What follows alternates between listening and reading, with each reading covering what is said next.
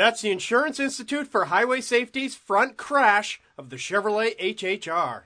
The HHR slams into the barrier, and the impact lifts the vehicle clear off the ground. But the passenger compartment remains intact, and the dummy's movement is well controlled. The only serious risk of injury is to the lower leg. Although the head hits the roof rail and B pillar during rebound, the impact is not hard enough to raise concerns.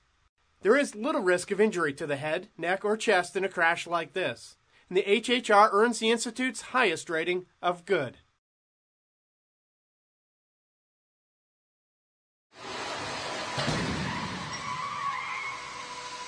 The vehicle is equipped with side curtain airbags, which were optional until they became standard beginning in the 2009 model year.